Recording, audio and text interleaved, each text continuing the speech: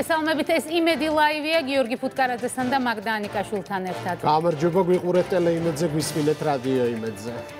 რისთვის წავიდნენ რადიკალები ბრიუსელში როგორ დაიცავს ადამიანის უფლებებს ადეიშვილი როგორ მოხდა სააკაშვილი ევროსაბჭოს რეზოლუციაში კიდევ ბევრი კითხვა და დღეს ჩვენ ყველას უნდა უპასუხოთ. და რა თქმა უნდა მთავარი თემა ვაკის პარკში მომხდარი ტრაგედია იქნება ყველა გამოძიების პირველადი შედეგების მერე პროკურატურის ბრალდებას და ამბის განვითარებას ველოდებით. 9 დაკავებულს პროკურატურამ ბრალი ოფიციალურად რამდენიმე საათის წინ წარუდგინა. საქმეში რამდენიმე დანაშაულებრივი ეპიზოდია, მათ შორის სამსახურეობრივი გულგრილობა, საჭამოში ჩადენილი გულგრილობა, უსაფრთხოების წესის დარღვევა, ყალბი დოკუმენტის დამზადება. პროკურატურამ ვიდეო მტკიცებულებებით წარმოადგინა თუ როგორ დაზიანდა ელექტროკაბელის იზოლაცია, რამაც უმძიმესი ტრაგედია გამოიწვია. კერძო კომპანიების წარმომადგენლებთან ერთად დაკავებულთა შორისაა მერიის გარემოს დაცვის სამსახურის უფროსის მოადგილე, ხოლო თავად სამსახურის უფროსმა თანამდებობა დღეს დატოვა გამოძიება არ გამორიცხავს რომ ბრალდებულთა წრე შესაძლოა კიდევ გაფართოვდეს 2022 წლის სექტემბერში მიუხედავად იმისა რომ ცენტრალურ შადრევანზე დასრულებული იყო სარეაბილიტაციო სამუშაოები მერიის გარემოს დაცვის საქალაქო სამსახურის უფროსის მოადგილემ green service plus-ის პროექტის მენეჯერს სიტყვიერად მოსთხოვა რომ ცენტრალურ შადრევანზე დამატებით ჩაეტარებიათ გარკვეული სამუშაოები კერძოდ უჟანგავი თეთრი ფერის თუნუქის მასალით შეეფუთათ ელექტროძრავზე დაერთებული შავი ფერის წყლის მილები. სამუშაოების მიმდინარეობისას ხელოსნება დაარღვეს სამუშაოს წარმოების უსაფრთხოების ნორმები, კერძო წყლის მილებზე უჟანგავი თუნუქის მორგების მიზნით მოხსნეს ელექტროძრავის შესაფუთი ლითონის ცხაური, რომლის უკან დამაგრებისას ბეტონის ზედაპირსა და ლითონის ცხაურს შორის მაღალი ძაბვის ელექტროკაბელი მოაყოლეს. აღნიშნულის გამო დაზიანდა ელექტროკაბელის იზოლაცია და მოხდა დენის წყალში გაჟონვა. Service Plus-ის დირექტორმა შესრულებული სამუშაო შესაბამისი ინსპექტირების ჩაბარების გარეშე წარუდგინა მერიის საქალაქო სამსახურს. ხოლო მერიის გარემოს თავდაცვის სამსახურის უფროსის მოადგილემ აღნიშნული მიიღო შესაბამისი ინსპექტირების გარეშე. თავის მხრივ Service Plus-ის ქვეკონტრაქტორი ფირმის წარმომადგენელმა არ გადაამოწმა მის მიერ დაქირავებული ხელოსნების მიერ შესრულებული სამუშაო, ხოლო Service Plus-ის სამუშაოთან წარმოებელმა არ გაუწია შესაბამისი კონტროლი აღნიშნულ საქმიანობას. ამ ტრაგედიას თითქოს სიმძიმე აკლდეს, რომ ნაცმოძრაობის დეპუტატმა და კეზერაშვილის ახალმა ფავორიტმა ხაბეიშვილმა პარლამენტის ხდომაზე მოკლემეტრაჟიანი ტყუილების გავრცელება და ფაქტის კიდევ უფრო დამძიმება გადაწყვიტა. თითქოს ვაკის პარკსა და ვარკეთილის მეტროს რეაბილიტაცია, სადაც წლების წინ ჭერი ჩამოიშალა ერთი და იგივე კომპანიამ განახორციელა. ხაბეიშვილის ტყუილებს მაია ბითაძემ პასუხა და თქვა, რომ სამარცხვინოა, როდესაც ნაცმოძრაობა ვიღაცის მსხვერპლ შეწირვას ითხოვს და თავად საერთოდ არაფერს აკეთებს, რომ რეგულაციები გამოსწორდეს. პაკის პარკის ტრაგედიის შემდეგ დედაქალაქის მთავრობა დღეს პირველად შეიკრიბა. კახაკალაძემ კიდევ ერთხელ ხაზგასმით თქვა რომ ზადარის კანონის წინაშე სრული სიმკაცრით აგოს პასუხი თუ მისი ცირედი ბრალეულობა მაინც გამოიკვეთება. მერმა საქალაქო სამსახურებს დაავალა იმ კომპანიის შესრულებული სამუშაოების ინსპექტირება რომელსაც ყალბი დოკუმენტის დამზადება ბრალდება. კახაკალაძემ ტრაგედიის პოლიტიკური მიზნებისთვის გამოყენებაზე ცილაპარაკა მოусმინეთ მერს ტრაგედიის დღიდან მოყოლებული მოსახლეობა ტელეეთერებიდან ისმენს სრულიად გამაოგნებელ განცხადებებს კონკრეტული პოლიტიკოს პოლიტიკოსების მხრიდან.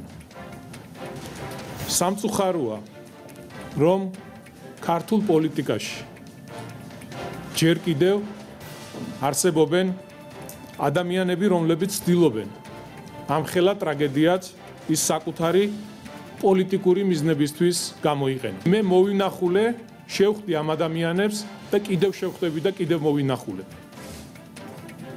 მოვინახულებ ყველას. ვისი მადლიერიც ვარ და ყველას ვინც ამ ტრაგედიით დაზარალდა. მინდა დავავალო მერიის დაქვემდებარებულ ყველა უწყებას. სამსახურებს, გამგეობებს, და დაქვემდებარებულ კომპანიებს. განახორციელონ ქალაქის მასშტაბით ყველა იმ შესრულებული სამუშაოს ინსპექტირება არსებულ ნორმებთან და წესებთან შესაბამისობაზე, რომლის ექსპერტიზაც თავის დროზე გაკეთებული აქვს შეფესე შენ ექსპერტს. ეს არის საექსპერტო ბიურო, რომელსაც გამოძიება ყალბი დასკვნის გაცემას ედავება. ამ თემას და გამოძიების შედეგებს ჩვენ ცოტა ხანში დაუბრუნდებით.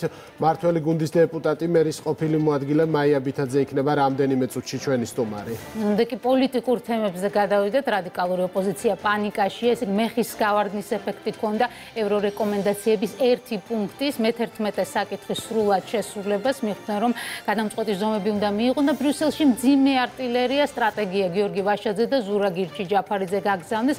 არ მალავენ რომ შეხვედრები იმართება უმაღლეს დონეზე ადამიანებთან, ვინც საქართველოს უნდა შეაფასოს და კანდიდატის სტატუსთან დაკავშირებით გადაწყვეტილება უნდა მიიღოს. რა მიზანი აქვს ამ მოგზაურობას? ქართულ ოცნებაში ამ კითხვას ერთი სიტყვით პასუხობენ საბოტაჟი ირაკლი კობახიძე ამბობს რომ ოპოზიციის ყველა ნაბიჯიდან ჩანს რომ მათი ამოცანა ხელი შეუშალონ კანდიდატის სტატუსის მიღებას.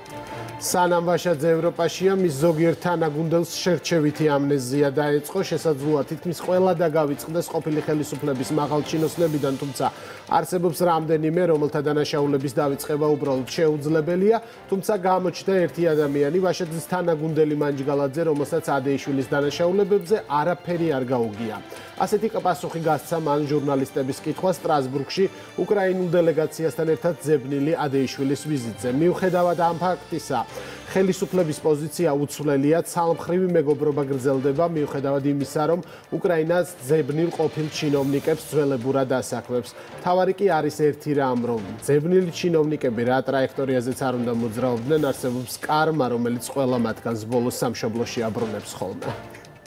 ზურაბადეიშვილი ბრალდებული არაერთ საქმეზე და მსჯავრდებული არაერთ საქმეზე ამის ფონზე უკრაინის სახელმწიფო მაღალი დონის სტრუქტურები არ ერიდებიან მასთან ერთად აფიშირებას და მასთან თანამშრომლობას. დრომ გვაჩვენა რომ შეიძლება უკრაინას შეაფარო თავი და იყო ძებნილი, მაგრამ ერთ დღეს მოგიწიოს საქართველოში კონტეინერით ჩუმად შემოპარვა და შემდეგ ციხეში მოხვედრა.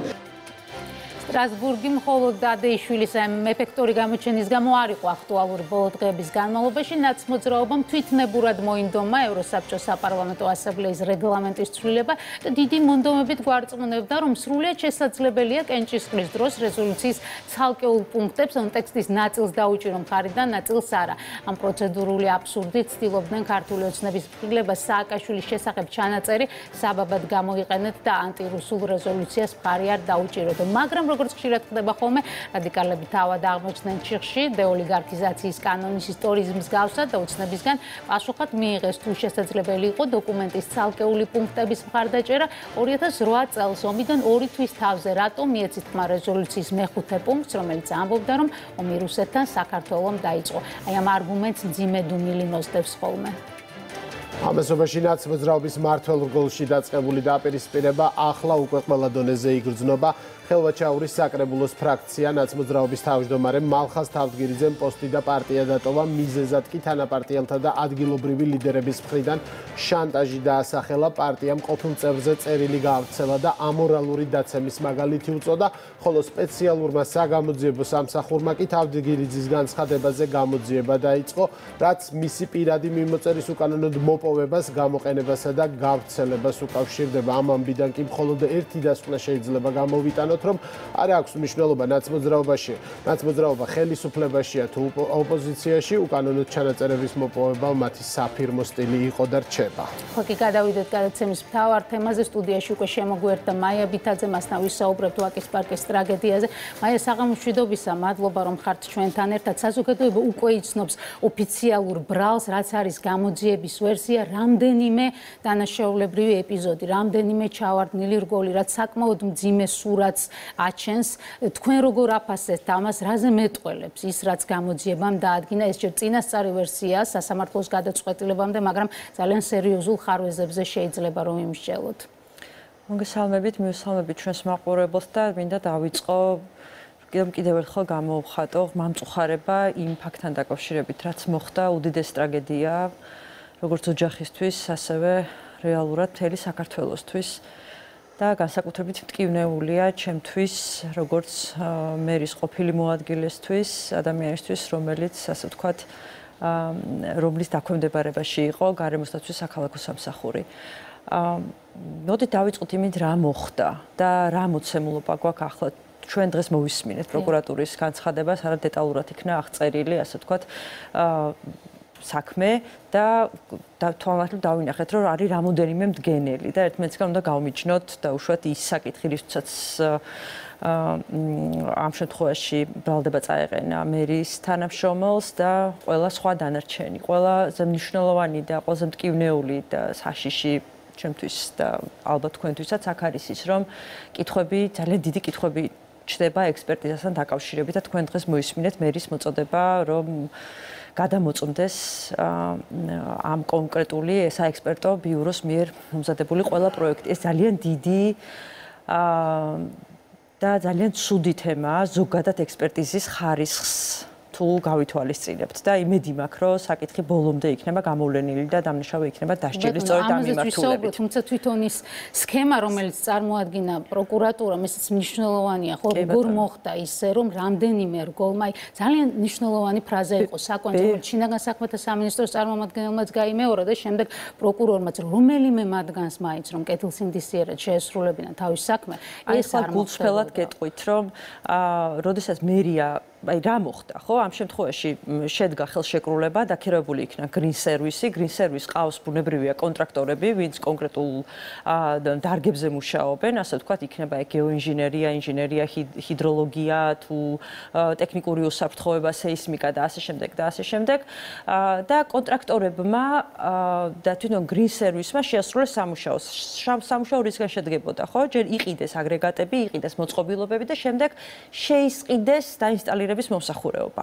დაინსტალირების მომსახურება, სადაც ასევე შედიოდა იმ პროდუქტის დაინსტალირება, რომელსაც ქვია ეგრეთ წოდებული რელე. ეს არის მთავარი დამცავი მექანიზმი, რომელსაც გამოძება ახლაც მიმდინარეობს და ჩვენ არ გვაქვს პასუხი, რატომ არ იმუშავა რელემ. აქ მთავარი მომენტი არის, რომ რატო არ იმუშავა რელემ, იმიტომ რომ მექანიკური დაზიანება ნებისმიერ შემთხვევაში შეიძლება ყველა ობიექტმა, სადაც მაღალი ზაპოგატის განიცადოს, მაგრამ უნდა იმუშაოს დამცავმა სისტემამ. ამაზე გამოძება მიმდინარეობს და მე იმედი მაქვს, რომ ამაზე პასუხი გვექნება, რა იყო, ასე ვთქვათ, ცუდი თვითონ პროდუქტი, რომელიც იყო დააყენებული თუ დაინსტალირებული დროს. ეს გასაგებია, ეს ქვეცოდინება ცოტა ხანში, მაგრამ აქ საინტერესო ერთი რამ, როდესაც მაგდას კითხვას გავაგზავნებ, რამდენიმე რგოლი არ მუშაობს და მათ შორის საბოლოო გადამოწმების მექანიზმი, ეს ნიშნავს თუ არა, რომ შესაძლოა ჩვენ გქონდეს საქმე სისტემურ პრობლემასთან. არა, არავითარ შემთხვევაში სისტემური პრობლემა მე ძალიან კარგად მახსოვს დერეგულაციის სისტემური პრობლემა, რომელიც ნაციონალური მოძრაობის დროს იყო და ამან გამოიწვია ის, რომ გაუქმდა ძალიან მთელი რიგი კანონმდებლობა და სხვათა შორის ის შედეგები, რაც ჩვენ ექსპერტიზასთან დღეს გვაქვს, არის ამის, ასე ვთქვათ, გაგრძელება. რატომ? იმიტომ რომ დაუკარგეთ კვალიფიციური სპეციალისტები, რომლებსაც სამსახურში არავინ აღარ ეძახდა წლების განმავლობაში და ამ ამ ხრივ ამ დღეს აღარ შეგაწყენ თავს, თუმცა ესეც რამდენიც არ უნდა გაგვიკვირდეს ნაციონალური მოძრაობის მიერ 10 წლიანი დერეგულაციის შედეგია დარგობრივი მიმართულებით. ისე ჩვენ ექსპერტები, ექსპერტებთან დაკავშირებით, დარგის ექსპერტებთან დაკავშირებით გვაქვს პრობლემა.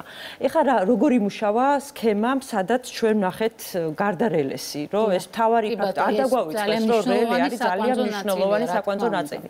მერია ყიდულობს პროექტს, ასე ხდება, მერია მართავს დღიურად ასობით პროექტს და შეიძლება მეტიც კი თუ ჩავთვლით გამგეობებს და ასე შემდეგ.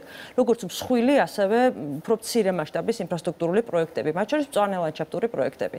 პროექტების შესყიდვა ხდება როგორც პროდუქციის, ასევე ექსპერტიზის, ანუ შემსრულებელი, მომწოდებელი ვალდებულია, რომ დაამოწყოს, ეს არის ჩვენი შესყიდვების კანონმდებლობა და ასე ხორციელდება შესყიდვები ინფრასტრუქტურის სამინისტროში და ყველა სხვა დანარჩენ მუნიციპალიტეტში, გარდა თბილისისა. მიმწოდებელს მოაქვს პროექტი, სადაც მოაქვს უსაფრთხოების დამადასტურებელი დოკუმენტები თვითოული პროდუქტის მიმართ, ანუ ეს იქნება რელე იქნება, ტუმბო იქნება თუ ასე შემდეგ.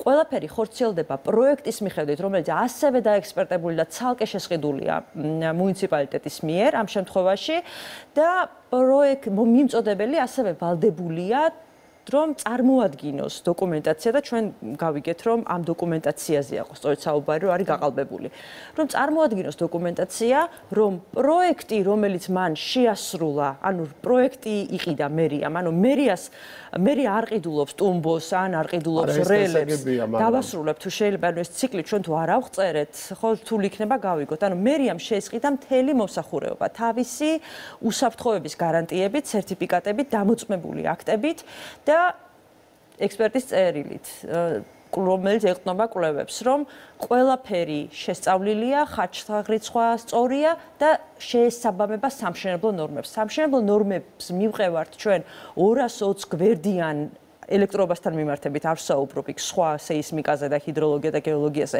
220 გვერდიან დოკუმენტზე ეგრეთ წოდებულ SNIP-ზე რომელიც ზუსტად აღწერს როგორ უნდა იყოს დამონტაჟებული როგორ უნდა მოხდეს ექსპლუატაციაში გაშვება როგორ უნდა იყოს დატესტილი დატესტის მასალები აი ხა გასრულებ აი ესეთი მომზადებული დოკუმენტი მერიამ ჩაიბარა აგვისტოში და ამის შემდგომ ხდება ტესტირებები მუდმივ რეჟიმში ობიექტის აა მაგრამ უკვე სექტემბერში და დღეს ჩვენ მოვისმინეთ. ანუ მერია, როდესაც იბარებს პროდუქტს, ამის შემდგომ კონტრაქტორი, ანუ მიმწოდებელი, ამ შემთხვევაში გრინ სერვისი, ვალდებულია რომ 2 წლის განმავლობაში სერვისი გაუწიოს მერიას. ანუ იქ თუ რაიმე შესაკეთებელი იქნება, ხარვეზი იქნება, მან ეს გამოასწოროს. სწორედ ასეთ შემთხვევასთან მქონდა საქმე, როდესაც მერიის თანამშრომელი ხედავს, რომ იქ რაღაც ვიზუალური მხარე არ შეესაბამება, ასე ვთქვათ, რაღაც ესთეტიურ ხო, და ეს იყო სიტყვიერი ეს არის სიტყვიერი, იმიტომ რომ ეს არის ძალიან ეს არის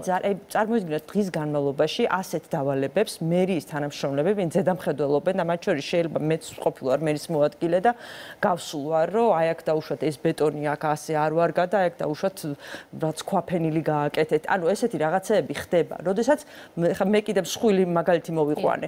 აქ საუბარი იყო რომ შეფუთეთო. მაგრამ მას არ უთქვამს, რომ ეხლა მე გამოძიების დეტალებში ვერ შევალ, ბუნებრივია და ეს უკვე ბრალდების და უსაფრთხოება და არღვიო. მაგრამ უსაფრთხოება და არღვიო ბუნებრივია, მას არ უთქვამს. და შემდეგ მივდივართ იმ ციკლზე, რა დღეს პროკურატურამ წარმოადგინა. და ხედავთ იმას, რომ რგოლებმა რომელსაც ევალებოდა, რომ სამუშაოები შეესრულებინა გარანტიის ფარგლებში, აი მოწლიანი გარანტიის ფარგლებში ვიზუალური მხარე მოეწესრიგებინათ, ნათლად იმისა, რომ ვიზუალური მხარე მოეწესრიგებინათ, მიაყოლეს თან საბოლოო გადამოწმება. საბოლოო, აი მოდით ესე მერიის კონტროლის, მე აი როგორი სურათი ხატება, ეცეთ მერია ყიდულობს დაუშვეთ პროექტს, მერია ყიდულობს. მაგდა ესე თქვა, რომ აქ მარტო მერიას საუბარი არ არის. აქ არის საუბარი შესყიდვების მთელ სისტემაზე, რომელიც ქვეყანაში მოქმედებს. ასევე არ დაგვავიწყდეს, რომ იგივე სისტემა მოქმედებს კერძო კომპანიებშიც. როდესაც იგივე იმედი რაიმე მოსახურეობა შეისყიდის, ხო? თქვენ აქ ვერ იქნებით და ვერ თქვენი ხელმძღვანელობა ვერ იქნება ვერც ერთდროულად ჰიდროლოგი, გეოლოგი, ელექტრიკი, გეოინჟინერია და სეისმოლოგი და ასე შემდეგ, ხო? თქვენ ყიდულობთ მოსახურეობას და არსებობს ქვეყანაში ესეთი კერძო სექტორი, ეს არის ექსპერტიზა, არის ორი კერძო, ხო? სამხაროლის ფასიანი არავინ არ თქოს რომ უფასოა, ხო? კერძო სექტორი არსებობს, რომელიც აკეთებს ექსპერტიზას. და კანონმდებლობა ამბობს და შესყიდვების თელი სისტემა, რომ მე მომიტანე დაექსპერტებული, იმიტომ რომ მე ექსპერტი არა ვარ. მე შეიძლება კარგი მენეჯერი ვარ, ან კარგი ექიმი ვარ, ან კარგი წამყვანი ვარ, ან კარგი იურისტი ვარ, მაგრამ მე მჭირდება დადასტურება. ორი რამე დასტურდება. თქვენო iPhone-ს ყიდულობთ, ხო? სიტყვაზე ვიძახი, იმას მოყვება გარანტია, რომელიც ადასტურებს, ეს არის კარგი პროდუქტი. და მეორე, ამ შემთხვევაში მე პროდუქტიც ვიყიდე და ვიყიდე მომსახურეობა, რომელიც კვალიფიციურმა ექსპერტმა დამიდასტურა, რომ ეს არის კარგი. კვალიფიციურია თუ არა ექსპერტი, მაგრამ ამიტომ თქვი რომ მე აი რეგულაციის სანდოობის საკითხი ხა გუწფელად გითხრათ ჩვენ მქონია გარკვეული შემთხვევები. მერიაში თუ ეხა ჩემს პირადად სამინისტროში მე მინისტრის მოადგილე გახდეთ გარემოს და სამინისტროში რომელსაც დარგთან ქონდა შეხება აი ესე თქვათ საბუნებისმეტყველო დარგებთან, რომელიც ძალიან მნიშვნელოვანია უსაფრთხოებისთვის და ყოფილა შემთხვევები, როდესაც გადაცდომები ქონდათ ექსპერტებს და ჩვენ მიგუმართავს კიდევაც სამართალდამცავი ორგანოებისთვის, იმიტომ რომ თვალნათელი იყო, რომ რაღაც, მაგრამ იყო ძალიან აშკარა შემთხვევები და აქ, როდესაც შენ ვიზუალური მხარის მოწესრიგებას თხოვ კონტრაქტორს და კონტრაქტორი ქირაობს ქვეკონტრაქტორს, მას მოყავს კიდე ვიღაც მუშები და ისინი რაღაცის ქვემოთ რაღაცას აზიანებენ, გარანტიის ფარგლებში და ეს ან მოდით ესე ვთქვა აი ეს უძიმესი ტრაგედია რომელმაც იმსხვერპლა ამ ანგელოზი ბავშვის და ვიტყოდი არა ანგელოზი გმირი ბავშვის იმიტომ რომ ასეთები იბადებიან მხოლოდ მამაცი ადამიანები რაც მან გააკეთა. ამ ბავშვის სიცოცხლე იმსხვერპლა ეს იყო რამოდენიმე მდგენელისგან შემდგარი კაზუსი სამართლებრივ ენაზე რო ვთქვა, რომელმაც უდიდესი ტრაგედია მოიტანა, თუმცა დაგვანახა ის, რომ ექსპერტიზის მიმართულებით, ჩვენ ამ კერძო ექსპერტიზის მიმართულებით სამუშაო აუცილებლად გვაქვს გასაკაცრებელი. და პრობლემა რაც დგას არის კითხვები კომპანიასთან, რომელიც ამას ასრულებდა და ეს კომპანია პირველად არასრულებს ამ ექსპერტიზას გულისხმობთ თუ სამშენებლო სამუშაოებს. სამშენებლო სამუშაოებს Green Service Plus ეს კომპანია და მისი ხელმძღვანელები იყვნენ თაღლითობის ბრალდებით დაკავებული თავის დროზე, ეს იყო 9 წლის წინ თუ არ ვწდები და შესაბამისად იყო კითხვები. დღეს კიდევ უფრო აქტუალური გახდა ეს კითხვები და ბრალდებები, მათ შორის პოლიტიკური ოპონენტებიდან მოდის იმაზე, რომ იქ რაღაც კორუფციული გარიგებები ხდებოდა, რადგან იყო ძალიან დიდ თანხებზე საუბარი, ჯამურად 80 მილიონზე მეტი და შესაბამისად ამიტომ იყო ეს კომპანია, რომლის ხელმძღვანელები თავის დროზე თაღლითობის ბრალდებით დააკავეს. ეხლა პოლიტიკურ ოპოზიციაზე, პოლიტიკურიც არ არის, ეს არის რადიკალური ოპოზიცია, რომელიც უკვე ფანატიზმშია გადასული და მე ეს გუშინაც თქვი. აა მათი ნებისმიერი ბრალდება, განსაკუთრებით კორუფციასთან მიმართებით, განსაკუთრებით რაღაც აა კანონმდებლობის არცოდნასთან მიმართებით, რაც მას ჩვევია, უკვე ეს გადაიქცა ყოველდღიურ უტოპიად და მარაზმად და სამწუხაროდ თვალნათელი გახდა, რომ აი მუბედურება უბედურებით სარგებლობენ და ყოველნაირ სიბინძურეს თხზავენ და ცდილობენ რომ აა ასე ვთქვათ ზიანი მიაყენონ პროცესს, რომელსაც გამოძიება ქვია და ასევე ზიანი მიაყენონ თლიანად ჩვენ სამშობლოს თავის ოპონენტების გასაგებია თქვენი აზრი, მაგრამ კომპანიას რა შეეხება? კომპანიას ხო კომპანიასთან დაკავშირებით ოპონენტები რო ამბობენ, რომ კომპანია იყო თაღლითობის ბრალდებაში, ისიც უნდა დააყოლონ, რომ ამ კომპანიას მერია კი არ ირჩევს. ამ კომპანიას ირჩევს შესყიდვების არსებული სისტემა.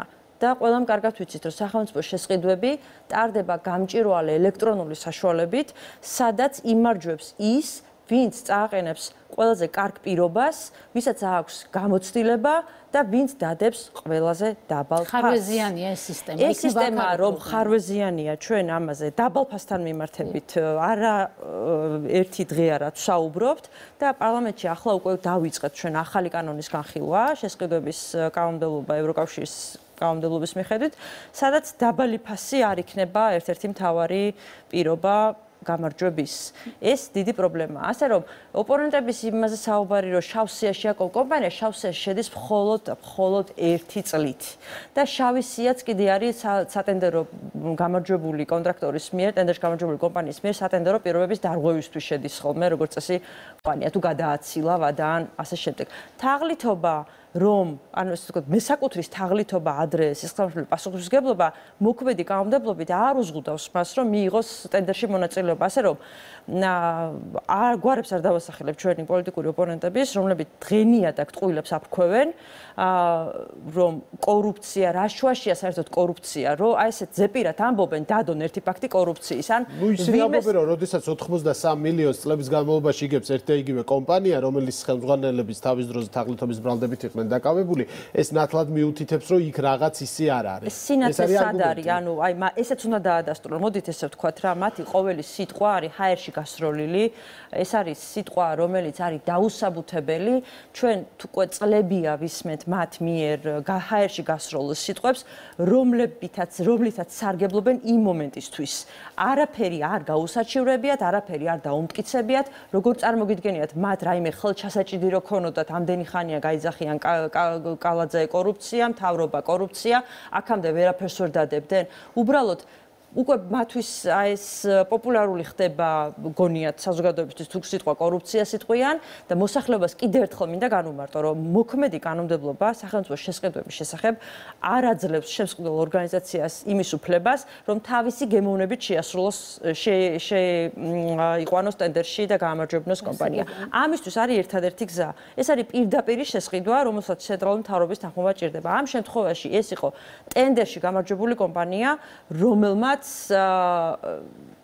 წარმოადგინა პროდუქტი თავისი ექსპერტიზიანად და ნახეთ რა შედეგიც მივიღეთ. ექსპერტიზი ექსპერტიზა რომელიც ამბობს რომ იქ უსაფრთხოების სისტემები დაცულია ფაქტია რომ არ აღმოჩნდა სწორი და რატომ არ აღმოჩნდა სწორი და რატომ არ იმუშავა რელემ კიდე ხაზი მინდა ამას გავუსვა ამაზე პასუხს ჩვენ ველოდებით და პასუხისმგებლობა ამ პროცესში ვისია თქვენ ამ სისტემაში მუშაობთ ძალიან ბევრი წელი. თქვენ ამბობთ რომ მერის თანამშრომელმა უბრალოდ მიცა ისეთი რეკომენდაცია რომელსაც გასცემენ ყოველდღიურად მაშინ პასუხისმგებლობა ვისია ამ პროცესში დღეს დადგა ამაზე მსჯელობს გამოძიება. ბრალდება დღეს უკვე წაყენებულია, მათ შორის რაც არ უნდა მტკივნეული იყოს ჩემთვის და მერის თანამშრომლებისთვის გარემოს დაცვის საქალაქო სამსახურის თანამშრომლებისთვის არის ბრალი წარდგენილი და გამოძიებამ უნდა მოფინოს ნათელი ყველაფრის. ანუ როგორ განვითარდა ეს ჯაჭვი, იყო თუ არა აა საშუალება იმისა, რომ გადამოწმებულიყო და თუ იყო საშუალება რომ გადამოწმებულიყო, რატომ არ მოხდა გადამოწმება? მე ამაზე ამ თუთას პასუხს ვერ გაგცემთ. აა ეს არის გამოძიების საგანი, არანაირი უფლება არ მაქვს მე გამოძიების პროცესში შევიდე. დღეს ჩვენ ნათლად მოვისმინეთ და პრინციპში ეს ჩემთვის როგორც მოქალაქისთვის დამაკმაყოფილებელი იყო ის ნაწილი, რომ გავიგე კითხვაზე პასუხი, რატომ არ იქნა სამშენებლო ელექტროობის ნაწილი გადამოწმებული და ეს დღეს ჩვენ ფურცლებითაც გვანახეთ, რომ ერთ დოკუმენტში წერია სამშობლო ნორმები და წესები არის შესაბამისობაში, მეორეში ეს არ წერია, ეს ჩემთვის ძალიან ბევრის მანიშნებელი იყო და განგაშის ზარები, ამიტომაც იქნა დღეს, ასე ვთქვათ, დაგრული რომ ეს კომპანიის დაექსპერტებული ყველა ობიექტი იქნა შემოწმებული. და მეორე ნაწილი, რაც შეეხება საბოლოოს, ну, წინ გვაქვს სასამართლო და ჩვენ წინ გვაქვს, რაც ყველაზე მთავარია, პასუხი მისაღები კითხვაზე, რატო არ იმუშავა დამცავმა სისტემა. იყო ეს თვითონ პროდუქტი, რომელიც არ ვარგოდა, ანუ გამორთველი თუ იყო სადემონტაჟო საქმიანობები არასწორად განხორციელებული. ჩვენ დღეს მოვისმინეთ კიდევაც შინაგან საქმეთა სამინისტროს მხრიდან, რომ გამოძიება გრძელდება და არ არის გამორიცხული, რომ პირთაწრე, დამნაშავე პირთაწრე გაიზარდოს, მაგრამ ერთი ფაქტია, რომ მე დარწმუნებული ვარ იმაში, რომ არავის არ უნდოდა, რომ ესეთი ფაქტი დამდგარიყო, თუმცა დაუდევრობა და არასათანადო ექსპერტიზა ყოველთვის არის იმის წინაპირობა, რომ ერთ დღეს რაღაცა ჩამოინგრევა და ეს დღეს საფრთხაროდ დადგა. რამდენია ის ობიექტი, რომელიც შეაფასა შენ ექსპერტმა და ნუ ეს გადაწყვეტილება მიღებულია, რომ უნდა გადამოწმდეს, მაგრამ ახლა შეიძლება ხელოვნურად იქნება ეს განცდა, მაგრამ საზოგადოებაში ნელ-ნელა ჩდება განცდა, რომ არც ერთი ობიექტი, რომელიც მერის მიერ არის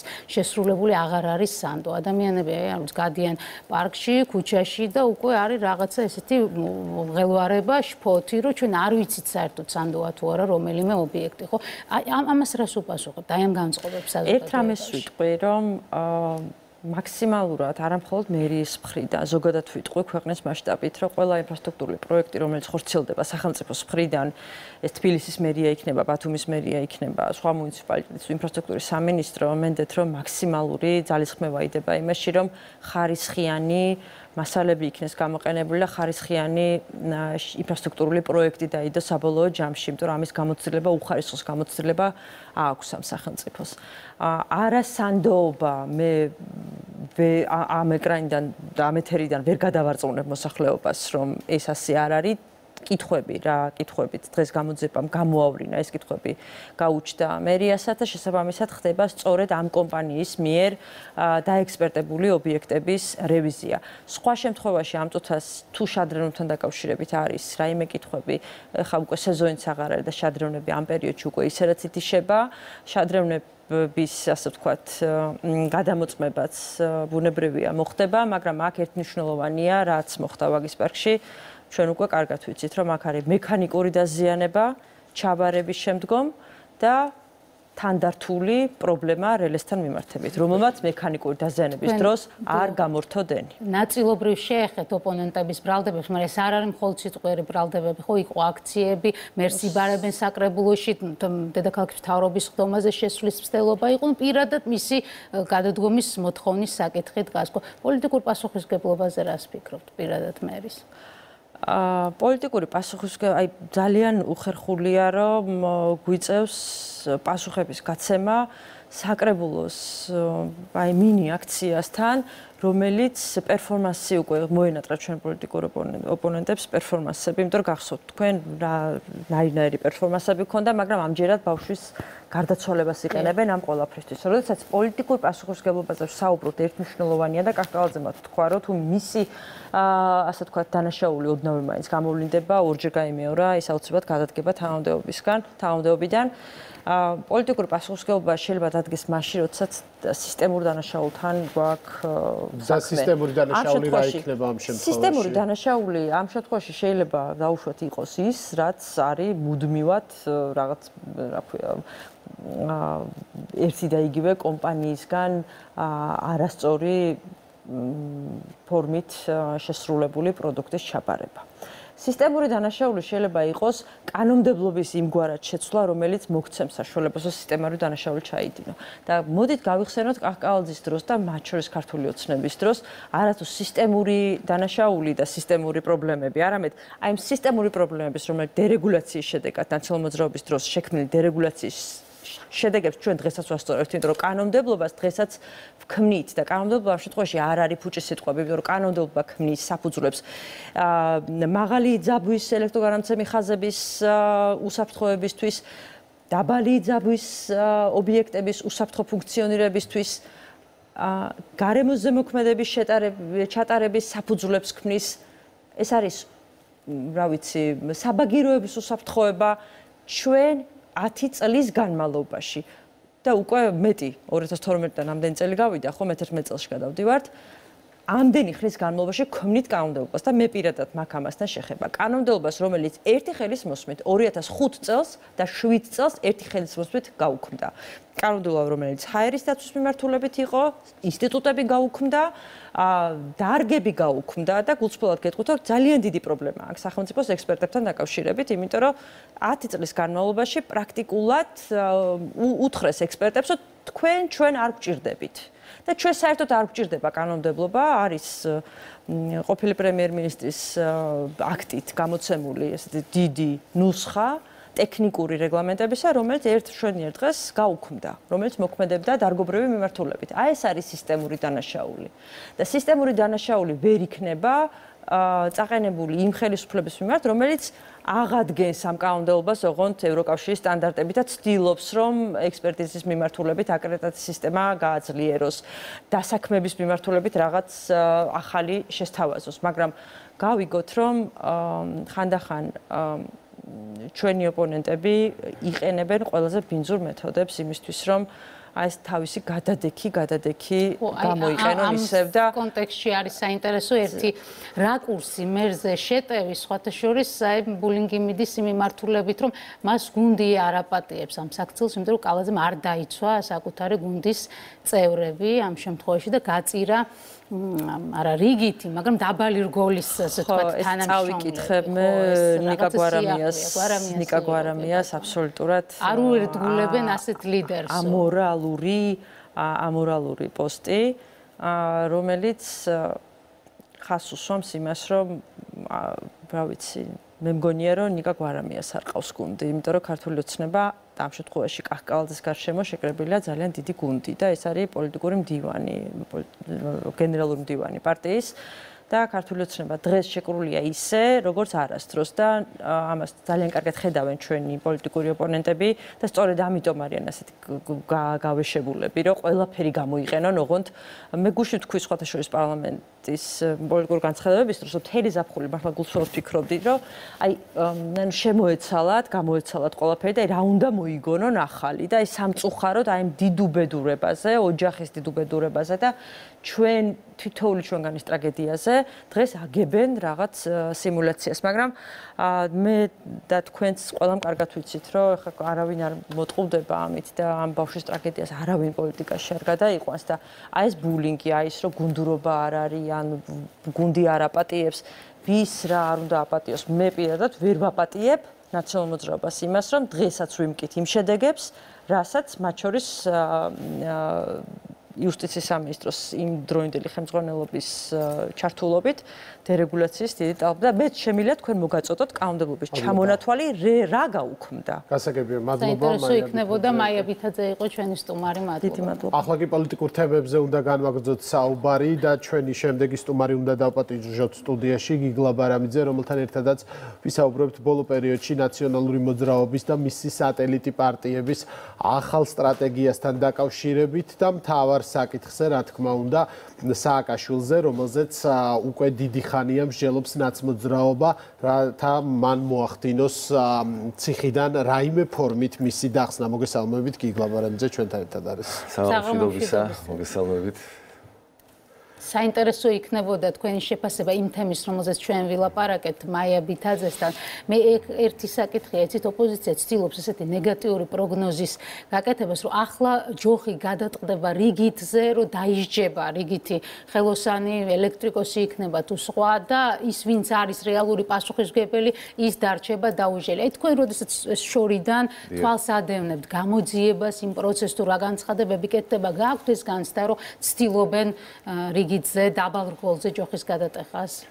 ცით უპირველეს ყოვლისა კიდევ ერთხელ თქვენს მრავალ ათასიან, ასეულ ათასიან მაყურებელს მიუსალმები, მოგესალმებით საღამომშვიდობისა და რა თქმა უნდა უნდა მიუსამძიმრო იმათ საქართველოსაც და ოჯახს. ესეთი ანგელოზივით ბავში დაიღუპა და ეს უმძიმესი რამ არის? უმძიმესი არის ყველა ჩვენთაგანისთვის ასეთი ნებისმიერი ფაქტი რა თქმა უნდა ძალიან მძიმეა და ყოველთვის ჩდება ჩდება მოთხოვნა რომ ვინც დააშავა უნდა დაისაჯოს და ეხლა რაც არ უნდა ვთქვათ რომ კარგია დაჟა, მაინც გულის ტკივილით ამბობ და დაისაჯდნენ და ისჯებიან ადამიანები, მეგონებ ეხლა ირკვევა კიდევ ვინა დამნაშავე 9 ადამიანია მეგონებ დაკავებული, კიდევ რამდენიმეზეა საუბარი, როგორც ჩვენ მოვისმინეთ. და იცით აქ მეორე არის კიდევ უმნიშვნელოვანესი რომ აი ეს ყოფილი პარტია მე იმ რევანშისტების და რადიკალების დაჯგუფებას გულისხმობ რომელთაც დაკარგეს ნიშანი აბსოლუტური პარტიულობის და ეს გადაიქცა ნაც სექტად, ნაც ბანდად, უკვე ერთმანეთს ახლა ნაც ვენერეულებსაც კი აკადრებენ და. უძახიან სენი ეს ეს უკეთურთა ჭინკური შაბაში ბამბავშთან დაკავშირებით ეს იყო ამაზზენი და სხვათა შორის არც გაგვიკვირდა ჩვენ იმიტომ რომ შევეჩვიოთ მათგან ესეც აქციელს. ამიტომ რო არ მეთქო ეს არ შეიძლებაოდა ეს არის აბსოლუტურად მიუღებელი და კიდევ კიდევ ერთხელ ხედავთ რომ ეს ის გაერთიანება იყო და მისი ნაფცქვენები და ნაფლეთები არიან. ის მეხუთე კოლონა რომელიც ყველაფერზე არიან წამსვლელები და მიდიან ოღონდ რაიმე მოხდეს სული ქვეყანაში და რა შეეხება აი რას თქვენ მითხარით ცით ნუ ხარ მე არა ვარ საქმის კურსში ქართულ ოცნების გუნდში კონკრეტულად ამ კუთხით რა ხდება მაგრამ როგორც გვერდით მდგომი მოქალაქე და დამოუკიდებელი პოლიტიკოსი ვიგრძენი და ნახე რომ ყოველს პრინციპში მოეთხოვა პასუხი და მიმდინარეობს ეს პროცესი. ამიტომ ეს წამოძახებები იგივე გამოვიდა მერი და რაც თქმელი იყო პრაქტიკულად თქვა მორალურად დამნაშავე არ განადგურებულია და თუ რამე არის პრინციპში ყველაფერზე ვაგებ პასუხსო მოდით ვისაუბროთ ახლა ოპოზიციის სულებზეც ევროპის საბჭოში მათ შეძლეს რეზოლუციაში შეეტანათ ცვლილებები, რომლითაც თითქოს სააკაშვილი არის პოლიტიკური პატიმარი და ის დაუყოვნებლივ უნდა განთავისუფლდეს. ჩვენ ქვეყნის შიგნით პერიოდულად ხედავთ ხოლმე კამპანიას მისი გათავისუფლების მოთხოვნით ან მინიმუმ საზღვარგარეთ სამკურნალოდ გადაყვანის მოთხოვნით. რას ელოდებით ამ პროცესში? არაფერს განსაკუთრებულს არ ველოდებით, მე ესე ვიტყოდი, რომ ეს დოკუმენტი არის პირდაპირ ვიტყვი შეტანილი კი არა, შეაპარეს ბოლო წუთებში, იმიტომ რომ პროექტი ძალიან ჩვენს ყავს იქ ახლობლებით, ახლობლები, კოლეგები, ასე თქვა, დიპლომატები და ძალიან კარგად ვიტყვით, როგორ მზადდებოდა. ბოლო საერთოდ არ ბოლო წუთებამდე საერთოდ არ იყო გათვალისწინებული ეს. შესერთი ავიღოთ ის, რომ ევროსაბჭოში არის 600-ზე მეტი დეპუტატი და ესწრებოდა ამ ასე თქვა, ამათ აქციას. შეპარების აქციას და ოპერაციას 98 დეპუტატი და 52-მა მისცა მარტო ხმა. ეს ჯესეთი აბსოლუტურად გაუგებარია თუ კი ასეთი მნიშვნელოვანი იყო ეს დოკუმენტი ევროსაბჭოსთვის, რატომ ესწრებოდა ესე მცირე რაოდენობის ხალხი. მეორეცეთი ავიღოთ ის რომ ამ დოკუმენტმა დაკარგა სახი მასში, დაკარგა ეფექტი და მასშტაბურობა ევროსაბჭოს დოკუმენტს გულისხმობ მაშინ, როდესაც პოლიტიკურ კონიუნქტურას აყვა ყველა და მაშინ, როდესაც სააკაშვილის ხსენება მოხდა როგორც პოლიტიკური პატიმრის, რადგან თვითონ ორგანიზაციას მიადგა ჩნდილი აუცილებლად, რა თქმა უნდა, იმიტომ რომ ორგანიზაციას დაავიწყდა, ორგანიზაციას თლიანად არამანამ იმ დეპუტატებს, რომლებიც რომელთაც დათური სამსახური გაუწია, დათური სამსახური გაუწია ამ ორგანიზაციას რატომ? შეიტანეს ადამიანი პოლიტპატიმრად, რომელზედაც ევროსაბჭოს 2008 წელს ნომერი 16 33 1633 რეზოლუცია რეზოლუციით ეს ადამიანი და მის მიერ ჩამოყალიბებული რეჟიმი ბრალდებული იყო ომის დაწყების ხელშეწყობაში საქართველოში, ხოლო თუ ავიღებთ მეოთხე მუხს, მეოთხე მუხს, მეხუთე მუხს რეზოლუციის მე-9 და მე-11 მუხს, იქ პირდაპირ წერია, რომ მათ კასეტური ბომბები დაბომბეს საკუთარი მოქალაქეები. ამას წერს ევროსაბჭო. ამის შემდეგ რომ პოლიტპატიმრად მომიხსენიებს ამ სასაცილო მეორეც დაჭირდა დღეს ამ სააკაშვილის და დაჭირდა იმიტომ რომ გააცოცხლონ სააკაშვილი აკაც და ოკეანის გაღმაც მათ ყავთ თავიანთი ზოგიერთ სტრუქტურებს ან არასამთავრობო ორგანიზაციებს ამოფარებული ლობისტები უზარმაზარი ეხლა მე არ ვიცი მილიარდე მილიონები იხარჯება თუ სხვა სიკეთეები, მაგრამ ისინი დაინტერესებული არიან და მეორეც კიდევ ავიღოთ ვიზია საუბარი პოლიტიკური პატიმარი, იმდენ რა უთხარე მაგას ეს საერთაშორისო მაწანწალა როგორ არის პოლიტიკური პატიმარი, მასზე არის სტრასბურგის სასამართლოში დადგენილებები უარყოფითი გამოდანილი, რომ მის დროს მისი უშუალო მონაწილეობით ადამიანებს აწამებდნენ, კლავდნენ, ასახიჩრებდნენ და ამის შემდეგ ევროსაბჭო ჩააგდეს ზოგიერთმა დეპუტატებმა ისეთ მდგომარეობაში, რომ შეპარება, იმიტომ თქვი, რომ აი ამ რაღაც 100 კაცი იყო 615-ის ნაცვლად. ასევე ვიხილეთ ადეიშვილიც, რომელიც იმყოფებოდა საქართველოს ხელისუფლებას ჰქონდა ასეთი რეაქცია, რომ მიუხედავად ამ ყველაფრისა, ჩვენ ცალმხრივ მეგობრობას ვაგრძელებთ უკრაინასთან, რადგან ჩვენ არაერთი ყოფილი მაღალჩინოსანი ვიცით, რომლებიც უკრაინის ხელისუფლებაში მაღალ თანამდებობებზე ინიშნებიან. ამ პროცესს როგორ აფასებთ და რა რა შეიძლება გაგრძელება იყოს ამ უარყოფითად გიორგი ახ გამახსენდა უცბად თბილისის კოლორიტი თქვენ ახალგაზრდები ხართ არ გახსოვთ მე მეტნაკლებად მესმოდა ყოჩებ შობლებისგან და ისე ნიას და დიასამიზის მეგობრობა 24 საათიანია. ასე რომ სამხრივ მეგობრობის მე ცოტა არ იყოს მაინც და მაინც დიდათ დიდი იმედი არ მაქვს იმიტომ რომ ამ სამხრივმა მეგობრობამ გამოიწვია რომ სამ სამხრივმა მეგობრებმა შემოგვაპარეს სააკაშვილი რომელსაც უნდა და აქ მეორე ფრონტი გაიხსნა ცალხრივა მეგობრებმა და შეიფარეს ბრალდებულები, მჯავრდებულები და თანადოები ჩააბარეს და საერთოდ ეს ეს ქართული საქართველოსი არაერთი ბუჩას შემქმნელი ადეიშვილი ეს წრუწურობაში გადავარდნილ ვირთხას უზახი მე ამ კაც თავისი საქციელებს და ეპითეტი არის ლიტერატურული არაფერი ლიტერატორი ვარ და შეიძლება ეს კლასიკა კლასიკურად კლასიკასთან ახლო არის ეს ადამიანი აა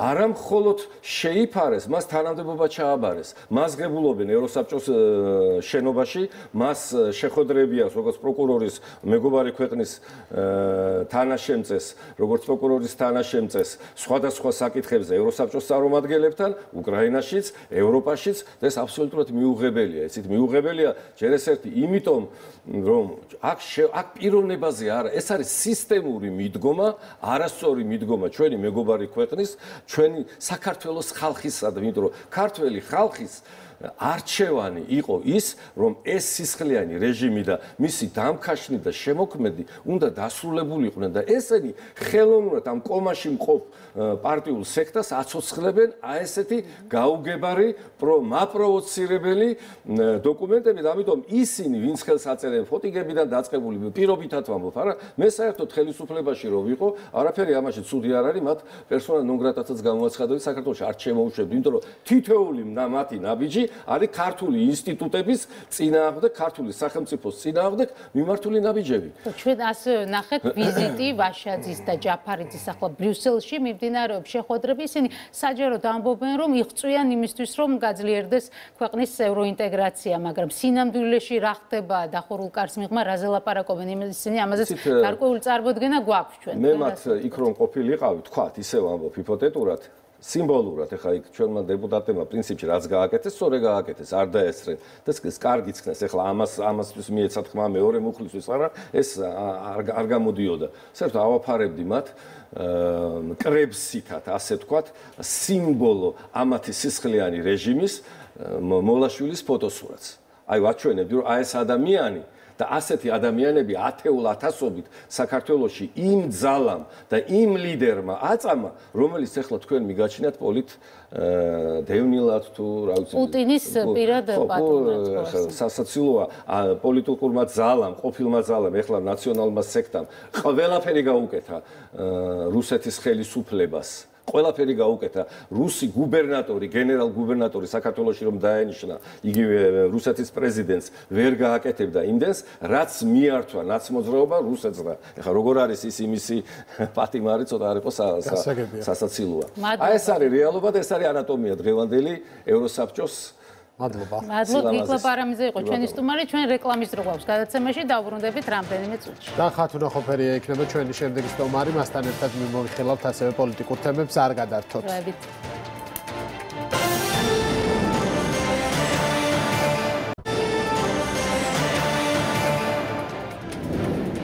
დაუბრუნდით პირდაპირ ეთერში. ეს იმედი ლაივია ხათუნა ხოფერია ჩვენი სტუმარი საღამშვიდობისა მადლობა რომ ხართ ჩვენთან ერთად. ჩვენ სტრასბურგით და ევროსაბჭოს რეზოლუციით უნდა დავიწყოთ საუბარი იმიტომ მოულოდნელი რა მოხდა პრინციპში დოკუმენტი რომელიც უნდა ყოფილიყო მთლიანად უკრაინის მხარდამჭერი რომელსაც საქართველოს დელეგაციაც მხარს უჭერდა საკომიტეტო მოსმენების დონეზე. აი გახდა ესეთი პოლიტიკური სპეკულაციების საგან ჩაიწერა რომ სააკაშვილი არის პოლიტპატიმარი და მისი საქმე უნდა გადაიხედოს. თქვენ მთლიანად ამ პრო პროცესს როგორ მოხდა ამ ჩანაწერის შეტანა, შემდეგ მისი მხარდაჭერა როგორ ახსნით და როგორ აფასებთ?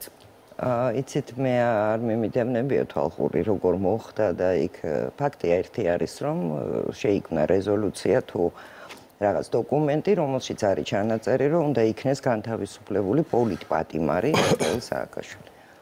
იცით რა არის ეს პოლიტპატიმარი ზოგადად ყველა ქვეყნებში და ესე მოიხსენიება მეორენაირად როგორც სინდილი. აი ხა ჩვენ რომ დავფიქრდეთ, ხო? შეიძლება სააკაშვილს უწოდოს სინდისის პატიმარი. აი ხო როგორი აბსურდია, ხო როგორი მოწყვეტილია ყოველგვარ ჭეშმარიტებას რა. და ზოგადად სანამ აი ამ ეხლა იქ რა იქმნებოდა და იმაზე კი არ არის საუბარი. აა რამოდენიმე დღის წინ ჯოზეფ ბორელმა გააკეთა განცხადება. და თქვა ასეთი რამ, რომ ყველა ის ქვეყნები, რომლებიც არიან ევროკავშირის მიღმა, არიან ჯუნგლები. მე მართალია მან ბოდიში მოიხადა ამ თავისი განცხადებისთვის, იმიტომ რომ აქ მოიაზრებოდა ძალიან ბევრი ქვეყანა, რომელსაც ბევრად უფრო მეტი კულტურა აქვს, ვიდრე მას პირადად და ის ქვეყანას და იმას. მაგრამ ეს ბოდიში ვიცით, რომ წამალი არ არის. ანუ იმ თავითვე ეს ადამიანები ჩვენ მოგვიაზრებენ როგორც ჯუნგლებს. ეს ხო არ არის ხა ის რომ მას ეს წამოწდა არა ეს იყო მისთვის გააზრებული მისი ცნობიერიდან წამოსული მას გაცნობიერებული ქონდა რომ ევროკავშირის მიღმა ყოფი ქვეყნები ეს არის ჯუნგლები. და ჩვენ რა გვიკვირს ახლა რომ აი ამ რეზოლუციებს იღებენ და იქ არსებობს ჩანაწერი იმასთან დაკავშირებით რომ მიხეილ სააკაშვილი არის პოლიტპატიმარი და უნდა გაანთავისუფლოს ეს არის ჩვეულებრივი დამოკიდებულება. ევროპა დღეს არის ამერიკის შეერთებული შტატების NGO. იცით როგორი NGO? აი როგორ ჩვენთან არის ბაია პატარაიას NGO კაპიტანი რა გვარია ის რო ეძახი გიგაურის NGO. აი ესეთი NGO-ები ხო არის აი ესეთი NGO-ი იქცა დღეს აი ეს ჩვენი საყვარელი ბებერი ევროპა ამერიკის შეერთებული შტატებისთვის. ნუ თუმცა ვერ დაგეთახმებთ, აი ნახეთ მაგალითად ევროპელი სოციალ-დემოკრატები, სადაც ერთ-ერთი ყველაზე ძლიერი ფრთა არის ევროპაში, მაგალითად პირდაპირ ამბობენ, რომ საქართველოს ადგილი არის ევროკავშირში. ირაკლი კობახიძე იმყოფებოდა ბერლინში ცოტა ხნის წინ, ოლაფ შოლცი, გერმანიის კანცლერი იყო, გერმანიის კანცლერმა პირდაპირ მოხაზარო ლისაბონიდან თბილისამდე არის ევროპა. შესაბამისად, ანუ ვერ ვიტყვით ასე ცალსახად, რომ ეს ასია, იმიტომ რომ არსებობენ ადამიანები, რომელთაც კარგად ესმის ჩვენი არ გეკამათებით. მე მოხარული ვარ იმის რომ იქ არის უნგრეთი უნგრეთის პრეზიდენტი და ბევრი ისეთი ქვეყნები რომლებიც აბსოლუტურად ნორმალურად აზროვნებენ. ევროპაში არიან ხალხი რომლებიც ქუჩაში არიან ახლა გამოსულები საფრანგეთში მაგალითად იტალიაში. როგორ შეიძლება რომ ამა ეს ადამიანები შეადარო თქვა აი ამ ბორელ ბორელს და აი ამ რაღაცა ბანდას რომელიც ამერიკის შეერთებული შტატების NGO-თ იქცა და ატარებენ ამ ყველაფერს რა თქმა უნდა გეთანხმებით არიან ღვთის წყალობით არიან ასეთი ადამიანები მაგრამ მე გეუბნებით რომ აი ეს ეს არ არის რეზოლუცია, ხვდებით? ეს არ არის კენჭისყრით მიღებული დოკუმენტი, როდესაც ინდივიდუალურად გამოდიან და გაცხადებას აკეთებენ. სრულიად სხვა რამეა, როდესაც ისინი იკრიბებიან, მსჯელობენ და საბოლოო ჯამში გვაძლევენ აი ამ აბსურდს. აი ზოგადად რა არის ახლა პოლიტიკისთვის მთავარი? ყველა ქვეყნის პოლიტიკისთვის. მთავარი არის რომ ის უნდა იყოს პრაგმატული, ხო, ეს პოლიტიკა. აი პრაგმატიზმი რაში მდგომარეობს, თუნდაც ქართული პოლიტიკის, ხო? ეს არის ეკონომიკა, ეს ერთი მიმართულება და მეორე მიმართულება არის უსაფრთხოება. კულტურა, რელიგია, ტერიტორიები, იდენტობა. აი ეს არის მთავარი გამსაზღვრელი პრაგმატული პოლიტიკის, რომელიც უნდა არსებობდეს რა. და ამისი საფუძველი გინდა არ გინდა ჩვენ მივეჩვიეთ ფეიკებს, მივეჩვიეთ, მაგრამ არის ჭეშმარიტება. ხვდებით? როგორც კი ჭეშმარიტება სცდება ის, რასაც ისინი გთავაზობენ, ხო? მომენტალურად ჩდება უნდობლობა. მომენტალურად ჩდება განცდა იმისი, რომ შენ კარგავ თავისუფლებას. ეს არიციან ევროპაში, რომ შეიძლება ამ გადაწყვეტილებებს უნდობლობა გააჩინონ ევროკავშირის. არ ვიცი, იცით რა, იციან. მე პირველი რეაქცია რაც მქონდა იყო ის, რომ აი მაშინ როცა ჩვენ ყველაფერს ვაკეთებთ რომ ეს 12 პუნქტიანი ის მივიღოთ რომ რაღაცნაირად შევძლოთ რომ გადავდგათ ნაბიჯი იქითკენ აი ამ ჩანაწერის გარჩენა თქვენ ხვდებით ამ ჩანაწერში გარდა იმისა რომ მიშას უწოდებენ პოლიტპატიმარს სხვა უზარმაზარი დატვირთვაც არსებობს. თუნდაც ის რომ სახელმწიფომ უნდა აღიაროს რომ მას ყავს პოლიტპატიმარი ანუ პოლიტპატიმრები ხო? ანუ რას ნიშნავს რომ საქართველოს უნდა აღიაროს რომ ის არის ტოტალიტარული სახელმწიფო რა ხვდები აი აქეთკენ გვიბიძგებენ ანუ და თუ ჩვენ ამას ვაღიარებთ და შევასრულებთ იმას რაც გვითხრეს მე როგორ უნდა მიგვიღონ ევროკავშირში ჭირდებათ მას მათ ასეთი სახე. ხანდახან მაგრამ ხოლმე განცხადებების და ჩანაწერების პონჩი გაწყვეტინებთ. თავარი ავტორები რომლებიც არ ჩანან ხოლმე ესენი არიან მაგალითად ნაცმოძრაობის წარმომადგენლები რომლებიც ძალიან ინტენსიურად დადიან ევროპაში. ეხლაც მაგალითად ვაშაძეც ჩავიდა მას შემდეგ რაც აი ლისაბონიდან თბილისამდე შოლცის განცხადება რო ახსენე ისინი ჩადიან და ცდილობენ რომ რაღაცნაირად ანუ საკუთარი ალტერნატიული ხედვა მიაწოდონ ევროპელებს იმისათვის რომ არ მოხდეს წინსვლა იმ თვალსაზრისით რაც არის მთელი ერის მოთხოვნა და დაკვეთა. აი ამ პროცესად გაურბივართ, როდესაც ოპოზიციის წარმომადგენლები ჩადიან რომ გააჩერონ პროგრესი. რომელი ოპოზიციის წარმომადგენლები? მე რეალურად ვფიქრობ, რომ საქართველოში არსებობს ოპოზიცია. საქართველოში მოხდა ძალიან უცნაური რამ. რადიკალური ოპოზიცია, ანუ რადიკალები, აი ეს ლიბერალები, ლიბერალური ფრთა, ისინი დარჩნენ ლიდერების გარეშე. ეხლა თქვენ ხო ხვდებით, რომ ვაშაძეზე და ამ კატეგორიაზე საერთოდ ლაპარაკი არ შეიძლება იმ მასშტაბებში, რა მასშტაბების პოლიტიკაც დღეს საქართველოში ტარდება რა. რასაც ქვია რადიკალური ოპოზიცია დარჩა ლიდერის გარეშე. აი ამ ფონზე, როცა იქ რაღაცა ის ამბობს, რომ საერთოდ აღარ ჩავერევიო ეს ჩვენი ეგრეთ წოდებული პოლიტპატიმარი იქ იმაზე რა ქვია მელიასთან დაკავშირებით უამრავი კითხვები. ანუ მე გეუბნებით ისეთ მსხვილი პოლიტიკური დაჯგუფების ლიდერებზე იქ ბოკერიას ჩამოშორება მოხდა საერთოდ პოლიტიკიდან. მან ვერ შეძლო თავისი მომხრეების აკრეფა ქართულ პოლიტიკურ ბაზარზე. აი ამ სიტუაციაში ძალიან უცნაურად პირადად მე ჩემი აზრია მეჩვენება ამერიკის შეერთებული შტატების ელჩის საქციელი მაგალითად. მე არსად არასოდეს არ მინახავს რომ ელჩი ჩადიოდეს სოფლებში. სადღაც აი თქვა ჩინეთში ამერიკის ელჩი ჩადიოდეს სოფლებში მიქონდეს საჩუქრები იღებდეს ფოტოებს გამოდიოდეს მე მესმის სამძიმარი უნდა თქვა. მაგრამ შენ რო იქ დააყოლო დირექტივები იქ რა უნდა მოხდეს და როგორ უნდა მოხდეს ანუ მე ისეთი შტაბეშტილება მჩება რომ დღეს საქართველოსი დაცლილი და საფუძველ გამოცლილი ოპოზიციის რადიკალური ოპოზიციის ლიდერი არის ქალბატონი კერი დეგნანი. დიახ, ჩემო კარგებოდა. აი ის რითიც მე დავიწყე, რომ ჩვენ ჯუნგლებს გვიწოდებენ. ესეც არის სწორედ აი ის დაკვეთა, რომელიც მოდის ამერიკის შეერთებული შტატებიდან. დაკვეთა იმასთან დაკავშირებით, როგორც ისინი ექცეოდნენ მე მექსიკელებს, ინდოელებს, როგორც დიდი ბრიტანეთი ექცეოდა ჩინელებს, როდესაც ოპიუმის ომი მოუწყო. პარტნიორზე საუბრობთ, ხათუნა, რომლის დახმარებასაც ჩვენ გვზნობთ წლებია, ხო? ჩვენ ყავს ოპონენტი. მე ეხლა ისე ისეთი შტაბეშტილება მჩება, რომ თინას ველაპარაკები ხიდაშო, ძალიან გთხოვთ რა. არა, ერთად. მე მაქვს თქვენ მიმართ ერთი თხოვნა, ჩვენ დახმარებას გვგრძნობდით. ჩვენ გვინდოდა რომ ყოფილიყო ეს დახმარება. მაგრამ მე ძალიან კარგად მახსოვს 2012 წლის დეკემბერი თუ იანვარი, როდესაც მაკეინი ჩამოფრინდა საქართველოში. გახსოვთ, ხელისუფლება ახალი შეცვლილი იყო და ძალიან კარგად მახსოვს მაკეინმა, როგორ მოახდინა ახალ ხელისუფლებასთან 350 მილიონის იარაღზე ხელშეკრულების გაფორმება რა. ახლად მოსულ ხელისუფლებასთან, როგორ აი ეს თავისი იარაღის ბიზნესთან დაკავშირებით, აი ეს იყო დახმარება მათი მხრიდან რა და ეს გრძელდებოდა წლების მანძილზე, როცა ისინი მე მაყვედრიან რომ 6 მილიარდი არის თურმე დახარჯული საქართველოსზე 30 წლის განმავლობაში. და როდესაც მათ უკვირთ, როცა ჩვენ ვითხოვთ, რომ ანგარიშ ფაქტურები მოგვეცით, გვანახეთ რაში დახარჯეთ. ჩვენ ხომ ყველა ძალიან კარგად ვიცით ჩემო კარგო მე ბოდიში ხიხთით შედარებისთვის. ხო კარგად ვიცით ეს ფულები საწავი და ვიცით NGO-ებზე როგორ ხდებოდა და ეს რა ქვია ამ თანხების დახარჯვა.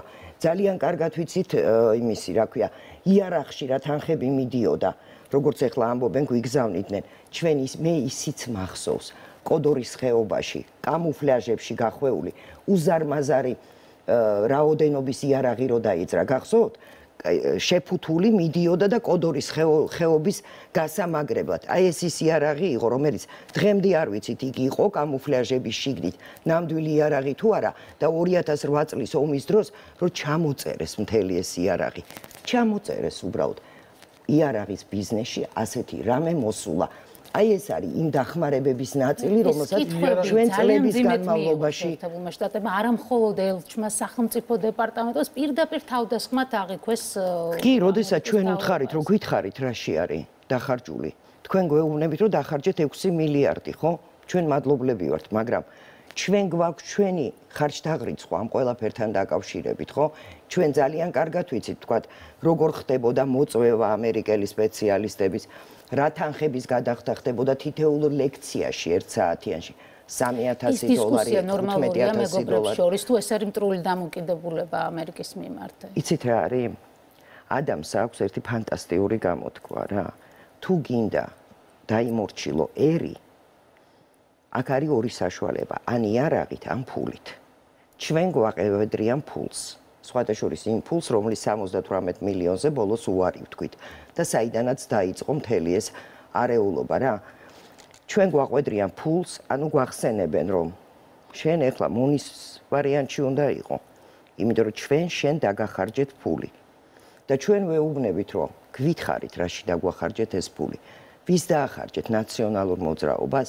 აი მენჯეოებს, ვიზეც დღეს ამერიკის შეერთებული შტატები აკეთებს, ვისაც ეყრდნობა ამერიკის შეერთებული შტატები და ისინი სრულიად უსახური ფიგურები არიან ვინც თქვენ დამისახელეთ ვაშაძე და ასე შემდეგ. ესენი არიან პოლიტიკურად სრულიად უსახური ადამიანები. თუმცა მეორე ნაწილი არის როდესაც ეს ფული იხარჯებოდა ძალიან კონკრეტულ პროექტებში. მე არ გულისხმობ მხოლოდ არასამთავრობოებისთვის გამოყოფილ დახმარებას მაგრამ საბოლოო ჯამში ჩემი კითხვა რას ეხება ხო არსებობს ქვეყნის გაცხადებული არჩევანი, ვინ არის მისი მტერი და ვინ არის მისი მოყარე, ამას გვიჩვენებს უახლეს ისტორიაც, ხო?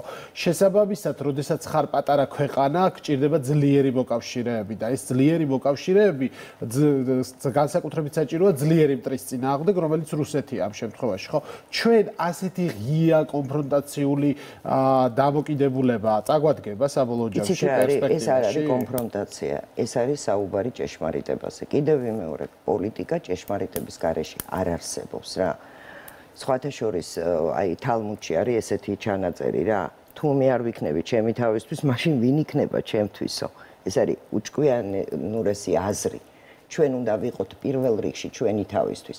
და როდესაც მე ხედავ თქვენ ხვდებით აი თუნდაც ეგ ჩანაწერი, თუნდაც დეოლიგარქიზაციის მოთხოვნის ჩანაწერი, როცა სახელ და გვარს ითხოვენ უკვე რომ იქ ჩაიწეროს. სახელ და გვარს ითხოვს ადგილობრივი ოპოზიცია, ხო? ჩვენ ხო ვიცით რომ არა არა მარტო ეხა როგორ რებს მეუნებით რა ადგილობრივი ოპოზიცია ეგერ ევროკავშირის ევროპარლამენტის წევრები გამოვიდნენ და პირდაპირ თქვეს რომ ამ დეოლიგარქიზაცია კი არა, დეივანიშვილიზაცია უნდა ერქვას. როდესაც მე მესაუბრებიან ასეთ ენაზე, ხო? მე რა თქმა უნდა ჩემს მთავარ მოკავშირეს, ჩემ პარტნიორს. მე უნდა ველაპარაკო როგორც თანასწორი, რა მე არა ვარ მონა. მე მას უნდა დაუსვა კითხვები და მან უნდა გამცეს კეთილი ინებოს ამ კითხვებზე პასუხი. როდესაც უკრაინა ჩემგან ითხოვს მეგობრობას და მას მოლაპარაკებაზე ადამიანის უფლებების დაცვის საკითხში უზის სურაბადეიშვილი. თქვენ როგორ გონიათ მეკითხები არ უნდა გამიჩნდეს? უკრაინა ჩემი მეგობარია, მე მინდა რომ უკრაინამ გაიმარჯოს. მაგრამ შენ მე რის დემონსტრირებას მიკეთებ? სურაბადეიშვილი, საქართველოს გენერალური პროკურორი, რომლის დროსაც როვა კვალიფიციური იურისტების პრობლემა არ არის. არ არის. ხო და მაგას ვამბობ. თან ადამიანი, რომელს რომლის დროსაც 850000 სისხლის სამართლის საქმე იყო აღძრული, რომლის დროსაც ძირითადად ხდებოდა საპროცესო გარიგებები. და იცით რა რა თანხაა ეს 850000 მსჯავრდებული საიდანაც გამამტყუნებელი 98% იყო განაჩენების 10 მილიონზეა საუბარი. იმ პერიოდში იყო შექმნილი სამართალდამცავი ორგანოების განვითარების ფონდი. სად გაქრა ეს ფონდი? სად გაქრა ფონდი რომელშიც ირიცხებოდა ქართველი ხალხის მიერ ამ საპროცესოში გადახდილი თანხები 10 მილიარდი არის ამოღებული ქართველების ჯიბეებიდან აი იმ პერიოდში. და ეს ადეიშვილი რომელიც ამას აკეთებდა და მე ამ პროცესს უწოდა ამერიკული მოდელი ჩამტრეული ფანჯარის მოდელი რომელიც საერთოდ აცდენილია იმას რაც ნიუ-იორკში ქონდათ აი ეს ადამიანი უზით იქ.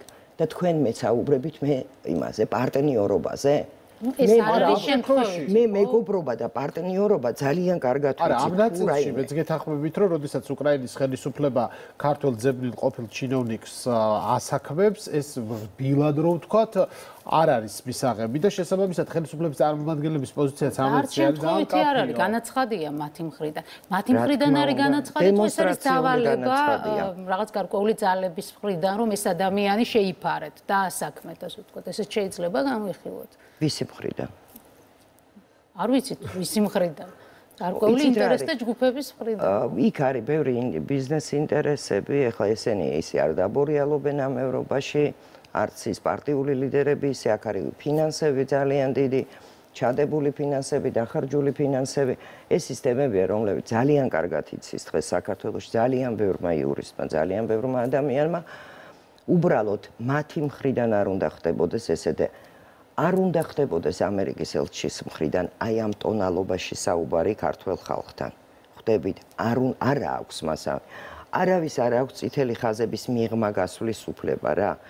როდესაც ეს ხდება, აი ერთი ისა გვაქვს ჩვენ რა, არ ამკითხე მოამბეზე, ხო იცით მე რო რაღაცა მიბერტყეს და მე აი ქართულ ადამიანში ეს ზის, ეს იწოს გაღიზიანებას. ყველაფერი გააკეთეს საიმისოდ, რომ აი ეს ნანატრი განსაკუთრებით ჩემი თაობისთვის ნანატრი ურთიერთობები ამერიკასთან შვილის გაგზავნა სასწავლებლად. ნუ აი ვერ გეტყვი თვითონ რომ ჩავდიოდით ნანატრი ქვეყანა და ყველაფერს აკეთებენ საიმისოდ, რომ ამის დევალვაცია მოხდეს აი ამ ურთიერთობების რა. მე უბრალოდ მინდა თქვენი ეთერი გამოვიყენო იმისთვის, რომ კიდე ერთხელ მივმართო რა, რომ ჩვენ გვაქვს ღირსება და თავმოყარეობა რა. ჩვენ არა ვართ ჯუნგლები. ნუ გვესაუბრებიან ისე, როგორც ესაუბრებოდნენ თავის დროზე.